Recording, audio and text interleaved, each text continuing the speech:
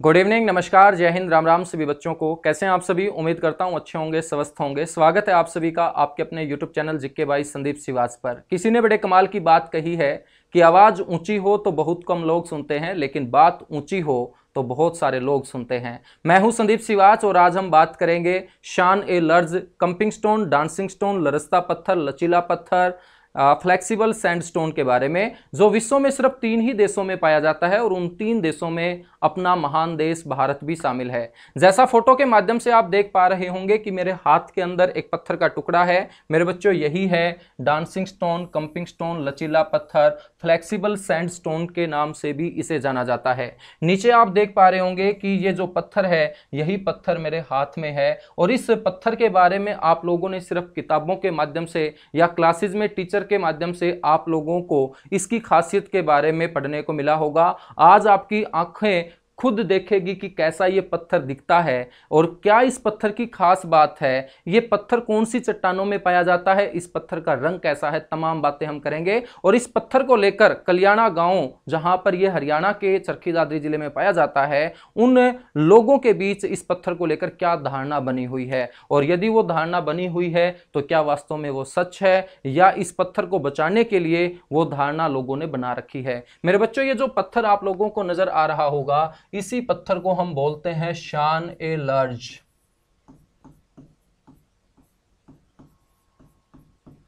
शान ए लर्ज के साथ साथ इसे कहा जाता है कंपिंग स्टोन।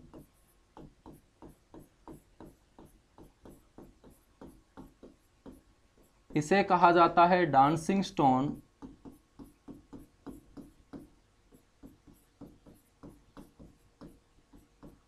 इसे कहा जाता है नृत्य पत्थर।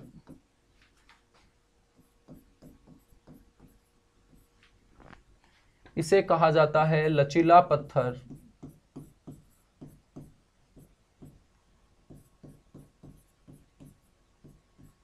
इसे कहा जाता है लरस्ता पत्थर। और इसी को कहा जाता है फ्लेक्सिबल सैंडस्टोन। Flexible sandstone.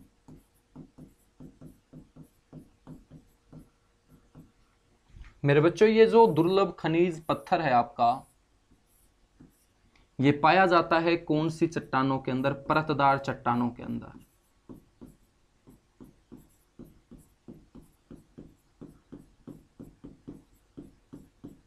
और ये जो पत्थर है, पाया जाता है विश्व के तीन देशों में।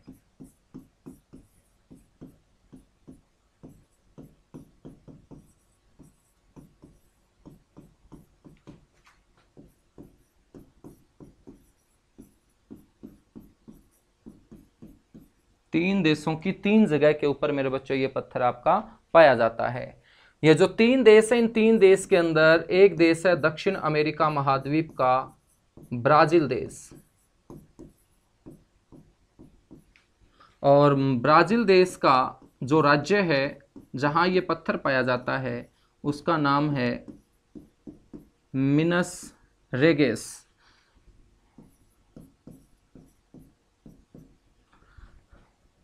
उसके बाद संयुक्त राज्य अमेरिका के उत्तरी कैरोलिना स्टेट के अंदर भी मेरे बच्चों आपको ये पत्थर देखने को मिलेगा। उत्तरी कैरोलिना राज्य में आपको ये पत्थर देखने को मिलेगा। और अब हम बात करते हैं अपने महान देश भारत की। और इस महान देश भारत के अंदर अपना महान राज्य हरियाणा की। और इस हरियाणा राज्य के अंदर जो नया जिला बाईसवां बना, चरखी दादरी की और इसी चरखी दादरी ज़िले से सात किलोमीटर दूर एक गाँव जिसका नाम है कल्याणा। और इसी कल्याणा गाँव में दिखाई देने वाला आपको एक विशाल काय पहाड़। और इस विशाल काय पहाड़ की दो खासियत, उन दो खासियत में हम बात करें तो एक खासियत है मेरे बच्चों यहाँ पर पाया जाने वाला लचीला पत्थर, जिसमें आपको रबड़ की तरह एक लचीलापन नज़र आएगा। और दूसरी खास बात है कि जितने भी हरियाणा के अंदर और चट्टानें पाई जाती हैं, उन सभी चट्टानों में सख्त जो चट्टान है बच्चों, वो इसी विशालकाय पहाड़ में पाई जाती है। दूसरी खास बात है लचीला पत्थर के साथ साथ यहाँ पाया जाने वाला अन्य जगह से सख्त पत्थर और इस सख्त पत्थर का जो प्रयोग किया जाता है मेरे बच्चों, वो किया जाता है कुंडी बनाने में। अपने घरों के अंदर जो कुंडी होती है, तिल वगैरह कूटने के लिए जो उखल का आप यूज़ करते हैं, उस उखल की हम बात करें, और आटा पीसने वाली जो चक्की होती है, उस चक्की के अंदर जो पत्थर के पार्ट बने होते हैं, बच्चों, वो पत्थर के पार्ट इसी कलियाणा गाँव के अंदर विशालकाय पहाड़ में पाए जाने वाले सख्त पत्थर से ही बनाए जाते हैं। और बात करें इस लचीला पत्थर की तो कलियाणा गाँव के अंदर ये जो लचीला पत्थर है, ये पूरे के पूरे पहाड़ पर नहीं पाया जाता, बल्कि ये जो पाया जाता है मेरे बच्चों, इस पहाड़ के पश्चिम दिशा में, चरखी दादरी ज़िले के कल्याणा गाँव में स्थित इस विशालकाय पहाड़ की कौन सी दिशा में पाया जाता है ये पत्थर आपको पश्चिम दिशा के अंदर और पश्चिम दिशा में आपको कितनी ऊंचाई पर जाना पड़ेगा मेरे बच्चों? 1500 मीटर की ऊंचाई पर आपको जाना पड़ेगा। 1500 मीटर की ऊंचाई पर जाकर आपको तीन सौ चौरासी मीटर गहरी एक खान नज़र आएगी। और इसी गहरी खान के अंदर जो परतदार चट्टाने हैं, उन्हीं परतदार चट्टानों में पाया जाता है आपका ये पत्थर। जो आप मेरे हाथों में देख पा रहे हैं। इसी का नाम है डांसिंग स्टोन, शान ए लर्ज कंपिंग स्टोन, नृत्य पत्थर, फ्लेक्सिबल सैंडस्टोन। इसे फ्लेक्सिबल सैंडस्टोन क्यों बोलते हैं? सैंडस्टोन तो इसलिए बोलते हैं क्योंकि जिस प्रकार से बाड़ू के कण आपको नज़र आते हैं ना तो इस पत्थर के ऊपर आपको बाड़ू के कण नज़र आएँगे। यदि आप इस पत्थर के ऊपर अपना हाथ भी रगड़ोगे एक बार तो आपके हाथ के बाड़ू जैसे छोटे छोटे कण चिपक जाएँगे। इसे फ्लेक्सिबल क्यों बोलते हैं? क्योंकि ये रबड़ की तरह फ्लेक्सिबल है। यदि यदि आप दोनों हाथों से पकड़ के, प्यारे बच्चों, इसको थोड़ा सा हिलाओगे ना तो आपको इसके अंदर रबड़ जैसी फ्लेक्सिबिलिटी नज़र आएगी। यानी कि ये आपको थोड़ा सा हल्का हल्का क्या नज़र आएगा? रबड़ की तरह फील आपको देगा। ये यानी कि जिस प्रकार से रबड़ फ्लेक्सिबल होता है, रबड़ थोड़ा सा मुड़ना स्टार्ट हो जाता है ना, ऐसे ये पत्थर जो है, वैसे ये सख्त है, लेकिन ये थोड़ा सा फ्लेक्सिबल भी है। और यही इसकी खास बात है, और ये जो दुर्लभ पत्थर है ना, ये सिर्फ़ तीन ही देशों में पाया जाता है, और उन तीन देशों की तीन जगह पर ब्राज़ील के अंदर रेगेस नाम का राज्य, और संयुक्त राज्य अमेरिका के अंदर उत्तरी कैरोलिना राज्य, और अपने भारत देश के हरियाणा राज्य के चरखी दादरी ज़िले के कलियाणा गाँव में सात किलोमीटर दूर स्थित विशालकाय पहाड़ की पश्चिम दिशा में 1500 मीटर ऊंचाई पर, तीन सौ चौरासी मीटर गहरी खान में पाए जाने वाली परतदार चट्टानों के अंदर मेरे बच्चों, ये पत्थर आपका पाया जाता है। तो ऐसा दुर्लभ खनिज अपने हरियाणा में मिलना एक अपने हरियाणा के लिए सौभाग्य जैसी बात है, क्योंकि इस खनिज को लेकर बहुत सारे जोग्राफर जो हैं वो काम भी कर रहे हैं और बहुत सारे जोग्राफर ने हरियाणा सरकार से रिक्वेस्ट भी की है कि इस कल्याणा गाँव के अंदर इस विशालकाय पहाड़ के ऊपर आप लोगों को खनन का कार्य नहीं करवाना है, क्योंकि यदि आप खनन की परमिशन दे दोगे, इस पहाड़ को तोड़ने की परमिशन दे दोगे तो ऐसा दुर्लभ खनिज हरियाणा हमेशा के लिए खो देगा। मेरे बच्चों, ये कम मात्रा में बचा हुआ है और इसको बचाने के लिए सरकार काम कर रही है। इस गाँव के लोग भी काम कर रहे हैं और बाहर से आने वाले लोग इस पत्थर को ना लेके जाए, इसलिए वहाँ के लोगों ने एक धारणा ये बना रखी है कि जो भी इस गाँव से पत्थर को लेके जाएगा, उस व्यक्ति के लिए ये एक अशुभ काम होगा, उसकी ज़िंदगी में बहुत बड़े दुखों का पहाड़ आएगा।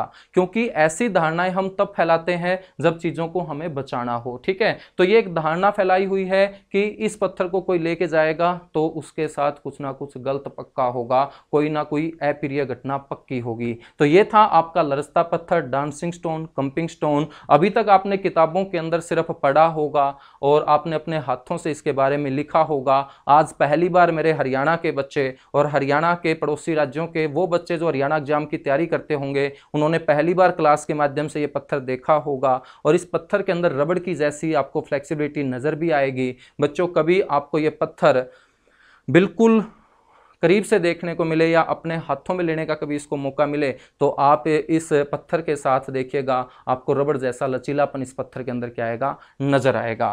तो मेरे बच्चों, आज का अपना ये एक महत्वपूर्ण छोटा सा सेशन जिसमें मैंने बात की है हरियाणा जिक्के के अंदर ये एग्ज़ाम में अक्सर क्वेश्चन पूछा भी जाता है, लेकिन पहली बार मैंने आपको इसकी बहुत सारी खास बातें बताई हैं। एक और ख़ास बात है कि आपसे कोई पूछ ले कि इसका कलर कैसा होता है। अब एच है मेरे भाई साहब, ये कुछ भी पूछ सकती है। आपसे इसका रंग भी पूछा जा सकता है। तो इसका जो रंग है ना मेरे बच्चों, वो आपको पीला नज़र आएगा, ठीक है? पीला नज़र आएगा। आप देख भी रहे होंगे नीचे, ये जो पीले रंग का पत्थर है, यही प्यारे बच्चों मैंने ये हाथ में यहाँ ले रखा है, ठीक है? तो कैसी लगी आपको ये जानकारी? आप कमेंट करके मेरे को ज़रूर बताइएगा। साथ के साथ जो भी बच्चे सीईटी की तैयारी करते हैं और काफ़ी टाइम से आप लोग कोचिंग और किताबों के माध्यम से तैयारी करते आ रहे होंगे तो उसी तैयारी को परखने के लिए आप गूगल प्ले स्टोर से मेरे बच्चों इस ऐप को इंस्टॉल करेंगे एग्ज़ाम मंच ऐप को। और ये आपकी तैयारी में और बेहतर काम करेगा, क्योंकि यहाँ पर मैंने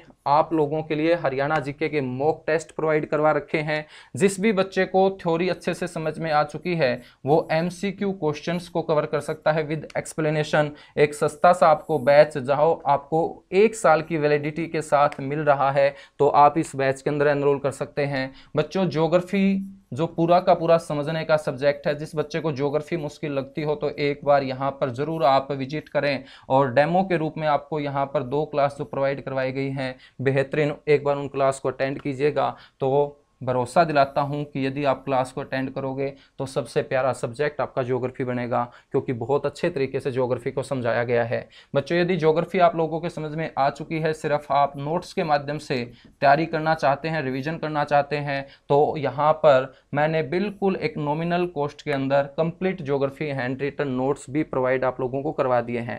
Haryana G K complete theory e book form में बच्चों, मैंने इस ऐप के ऊपर आप लोगों के लिए प्रोवाइड करवा दी है, ठीक है? एक नॉमिनल नॉमिनल चार्ज इस बुक का मैंने लिया है। और ये हरियाणा जी के जो कंप्लीट थ्योरी ई बुक होगी, ये मेरे प्यारे बच्चों साढ़े पाँच सौ पेजेस के अंदर आई है। ये आपकी मार्केट की बड़ी बड़ी किताबों के ऊपर भारी पड़ेगी। यदि आप इसको अच्छे तरीके से पढ़ सकते हो, इसको अच्छे तरीके से रिविजन कर सकते हो तो हरियाणा जी के जो सी के अंदर सबसे बड़ा सब्जेक्ट है, वो आपको कभी भी धोखा नहीं देगा। यानी कि आप बहुत अच्छा स्कोर हरियाणा जी के अंदर करेंगे। साढ़े पाँच सौ पेजेस के अंदर पूरा कंप्लीट हरियाणा जीके का सिलेबस आप यहाँ पर पढ़ सकते हैं। बिल्कुल एरर फ्री कंटेंट है, बहुत डीपली कंटेंट आपको मिलेगा एग्ज़ाम ओरिएंटेड कंटेंट मिलेगा, और यहाँ से कंटेंट पढ़ोगे और आप पहले वाले पेपरों के अंदर यदि क्वेश्चन देखोगे तो मेरे बच्चों इन्हीं नोट से आपको same to same ditto language के अंदर क्वेश्चन भी देखने को मिलेंगे, ठीक है? तो आज के लिए इतना सा ही, बाकी मिलेंगे हम जिक्के भाई संदीप सिवाच यूट्यूब चैनल पर। तो जो भी बच्चे पहली बार जिक्के भाई संदीप सिवाच यूट्यूब चैनल पर पधारे हैं, वो चैनल को सब्सक्राइब करें, बेल आइकन ज़रूर दबाएँ और शाम को हमारा जो सेशन होता है नौ बजे का, वो आपका सी e तक चलता रहेगा ताकि आपको सी e के अंदर बेहतर से बेहतर स्कोर प्राप्त करवाया जा सके। Thank you bye bye good luck